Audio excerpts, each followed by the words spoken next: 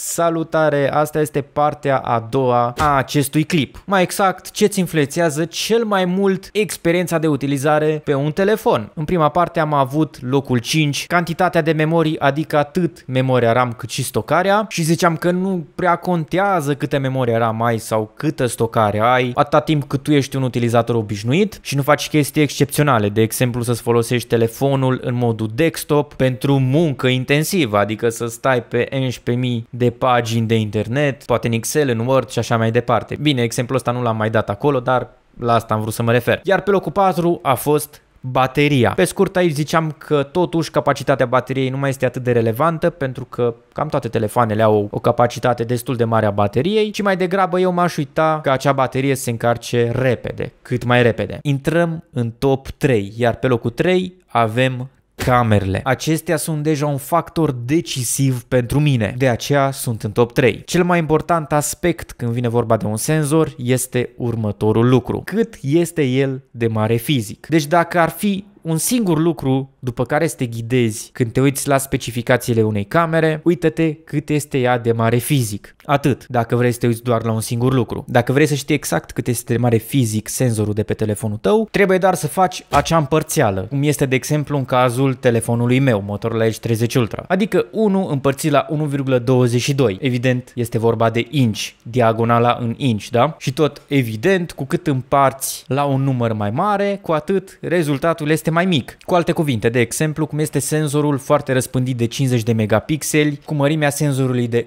1 pe 1,55 inch este net inferior celui de 1 pe 1,22 inch menționat anterior și nu pentru că are mai mulți megapixeli cel din urmă, ci pentru că este mult mai mare fizic. Face împărțiale dacă ești curios și o să vezi exact cu cât este mai mare fizic. Însă nu doar cât este de mare fizic senzorul contează la o cameră. Apertura lentilei este și ea foarte importantă, adică acel f/1.8 de exemplu. Cu cât acel număr de după slash este mai mic, cu atât intră mai multă lumină în senzor și deci cu atât pozele arată mai bine per total. Mare atenție, mai ales când lumina ambientală este mai slabă, atunci se vede și mai tare diferența. Dar da, ți-o menționez din nou, mărimea fizică a senzorului este mult mai importantă. Stabilizarea optică și autofocusul sunt și ele cel puțin la fel de importante precum apertura, dacă nu chiar mai importante, stând acum să mă gândesc. Cu cât ai o stabilizare mai bună, dar și un autofocus mai precis, cu atât pozele vor fi mai clare. Sincer vă zic acum, uneori, mai ales la telefoanele mai ieftine, prefer o stabilizare mai bună decât un senzor fizic mai mare. Pentru că acea stabilizare optică este pur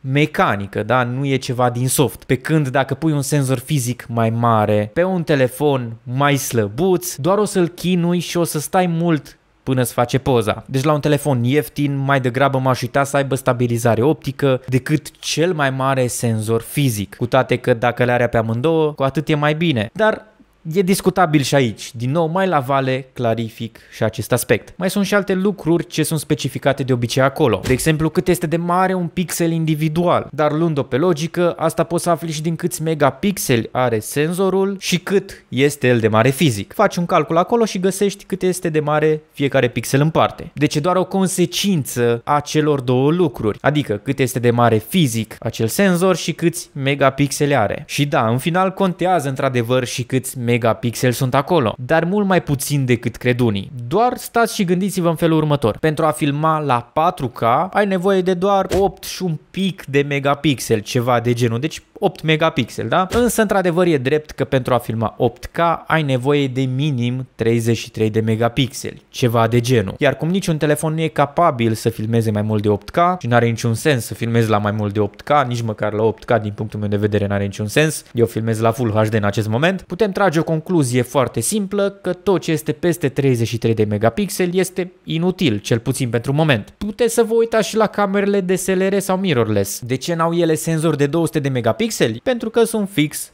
degeaba, da? Totuși, chiar dacă n-ar părea neapărat relevantă optimizarea, dar și performanța procesorului, acestea joacă chiar un rol crucial în rezultatele finale. Cu alte cuvinte, degeaba pui senzorul ăsta principal de pe Motorola Edge 30 Ultra, pe un iHunt, Leago, Wiko, Umidigi și așa mai departe, deci pe niște firme de asta no-name, căci cu siguranță ele nu sunt bine optimizate și în plus au niște procesoare foarte slabe în 99% din cazuri. În această speță, rezultatele vor fi aproape exclusiv exclusiv doar meritul senzorului foarte bun. Rezultate ce vor fi departe de un alt telefon cu același senzor dar mai bine optimizat și totodată cu un procesor mai performant. Dar hai să nu anticipăm. Și acum să trecem pe locul 2 evident din punctul meu de vedere. Aici avem ecranul, iar pentru mine este crucial să fie un ecran OLED sau orice variațiune a acestei tehnologii, adică poate să fie pe OLED, AMOLED, Dynamic AMOLED, Retina OLED sau cum e la iPhone și așa mai departe, da, poate să fie oricum. Dar nu e suficient să aibă această tehnologie. Trebuie și este necesar pentru mine să fie și suficient de luminos ca să poată fi folosit afară în soare puternic. Asta doar pentru orice eventualitate. Un ecran ce în mod realist ajunge ajunge la minim 1000 de niți pe toată suprafața lui, este un ecran perfect lizibil chiar și afară în soare puternic. Ecranele cu 3000, 4000 sau chiar mai mulți niți sunt în realitate ecrane de vreo 1000 1500 de niți maxim, asta când vine vorba de toată suprafața acelui ecran. Și de fapt, acei 3000 plus niți îi prins doar în condiții cu totul excepționale și doar pe anumite porțiuni ale ecranului, deci nu pe tot ecranul deodată. Căci da, spun din proprie experiență, am testat și afară în soare puternic mai multe telefoane cu ecrane de astea cu o luminozitate extraordinară pe hârtie, dar în practică n-a fost aproape nicio diferență față de Motorola Edge 30 Ultra cu o luminozitate de vreo 1200-1300 de niți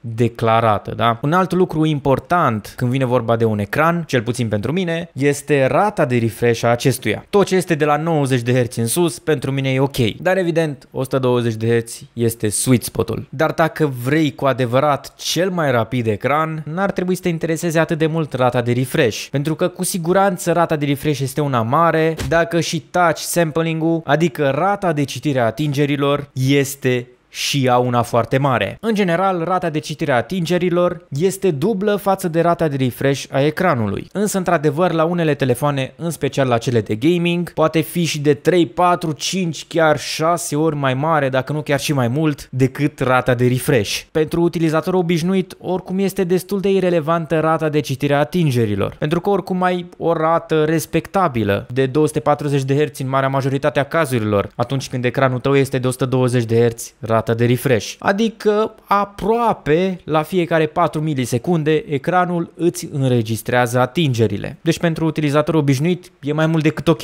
Dar nu mă înțelege greșit. Pentru un gamer 4, ceva milisecunde sunt destul de mult. Chiar înțeleg acest lucru. De aceea ți-am zis să fii atent la acest aspect dacă te interesează gamingul în special. Dar pe primul loc, de departe, cea mai importantă componentă atunci când vine vorba de experiența de utilizare per total dintr-un telefon, componentă ce am tot amintit-o pe parcursul acestui clip, este procesorul. Pentru că da, nu înseamnă că rata de refresh de 120 de Hz de pe telefoanele ieftine este justificată. În marea majoritate a cazurilor este chiar fix degeaba. Dacă n-ai un procesor capabil, poate să spună producătorul și ecran de 1000 de Hz rată de refresh, căci telefonul tot în lag va merge. Ba mai mult decât atât, cu cât ai o rată de refresh mai mare și o performanță mai scăzută, cu atât vei observa mai mult lagul. Cu siguranță eu aleg un telefon chiar cu ecran de 60 de Hz, cum sunt de exemplu iPhone-urile de bază sau cum era Google Pixel 6a și cum este de fapt încă Google Pixel 6a, decât un telefon cu mulți herți, dar cu un procesor mediocru. Adică ți-am zis și adineori, chiar vrei să vezi lagul în 120 de FPS-uri? Nu mai bine îl vezi în 60 de FPS-uri și să pară totuși că e mai puțin prezent? Doar zic. După cum am mai amintit deja în acest clip, cu cât procesorul e mai dăștept acolo în cap, cu atât pozele vor fi mai bune, optimizările vor fi mai bune, bateria poate să țină mai mult în condiții light de utilizare și așa mai departe. Dar elefantul din încăpere, cu cât procesorul este mai rapid, cu atât vei avea mai rar lag sau chiar deloc. Cu atât aplicațiile se vor deschide mult mai repede, după cum amintisem și la punctul 5, cu atât literalmente toată experiența de utilizare cu acel telefon sau cu acea tabletă va fi una superioară. Degeaba ai ecran de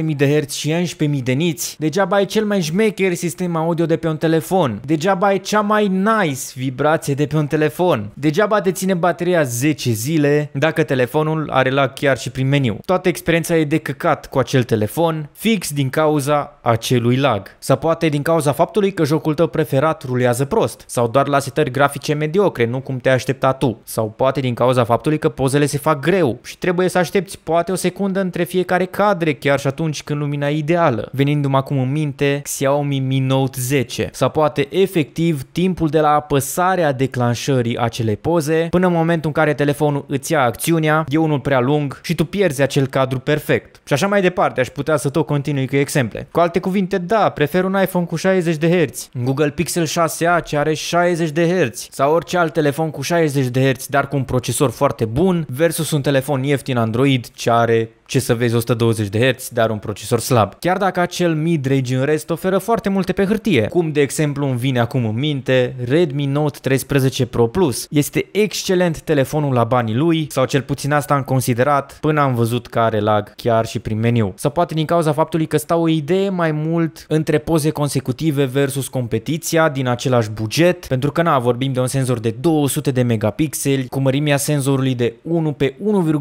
1,4 inch, deci un senzor chiar destul de mare fizic, un senzor excelent pentru banii ăștia, dar ce să vezi, cu cât ai mai mulți megapixeli mai ales, dar și cu cât este mai mare fizic acel senzor, cu atât vei avea nevoie de un procesor mai puternic dacă vrei să facă pozele instant. Nu zic că procesorul de pe Redmi Note 13 Pro Plus nu e ok, probabil între timp am mai primit niște optimizări în acel sens, dar cu un senzor de 50 de megapixeli, chiar și dacă ar fi fost la fel de mare fizic, cu siguranță pozele s-ar fi făcut mai repede pe acel acel Redmi Note 13 Pro Plus pentru că pur și simplu era mai puține informații de procesat. Asta e toată ideea. Da, ai mai multe informații dacă ai 200 de megapixeli, dar dacă procesorul nu face față să prelucreze toată acea informație, oricum pozele nu o să iasă la calitatea de 200 de megapixeli, să zic așa, nu știu dacă are sens. Bine, ora 9 seara când filmez acum, deci s-ar putea să las o corectură aici pe ecran în caz că nu m-am exprimat bine. Văd eu asta la editare, da, că destul de obosit acum. Dar,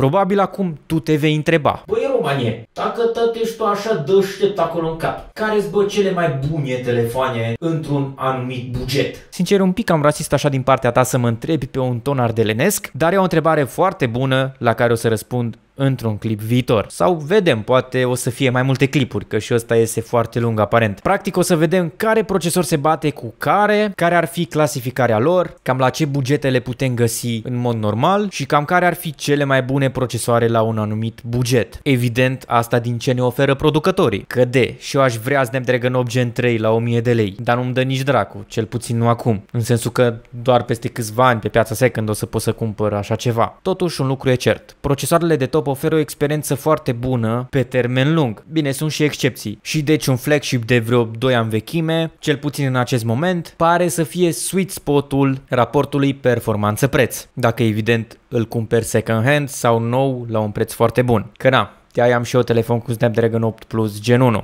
Mare atenție, este 8 Plus Gen 1, nu 8 Gen 1, da? Și acum la final, foarte important. Tu ce părere ai? Care sunt cele mai importante lucruri pentru tine când vine vorba de un telefon mobil sau o tabletă? Chiar sunt curios să aud părerea ta acolo jos în comentarii. Ei sunt oamenii care mă susțin efectiv în mod direct la momentul editării acestui clip și dacă vrei să o faci și tu tot acolo mai jos găsești butonul de alătură-te. Nu uita și de like, share și abonare dacă ți-a plăcut acest clip și dacă tot mergi acolo mai jos să lași un comentariu. Iar până la următor eu mă înclin și îți doresc numai bine.